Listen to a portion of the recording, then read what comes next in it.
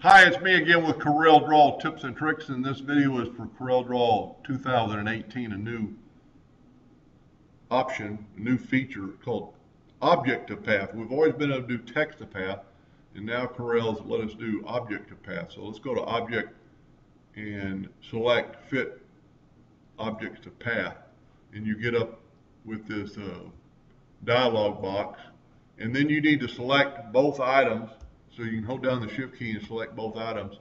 And then it's going to put nine around the, on the line, because I've got it set on the center node, and hit apply. Now let's back up here, and let's set it on the top one, and hit apply. And now it's going to set it on top of the line. Let's go back, let's set it on the bottom, and hit apply. Now it's put them inside the line. This is very, very handy and useful.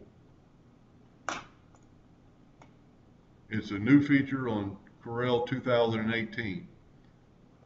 It would work with anything, any kind of path. Let's take away our circle and let's just draw a line. Let's do a freehand line let's uh, get the shape tool and take out some of these nodes and make it a little bit better line. That's good enough. Now this time we're going to select all the objects and we're going to put 9 and hit apply. Well it did just the opposite. So I need you need to select that one first and then your path and then hit apply. And it put 9 circles evenly on your path.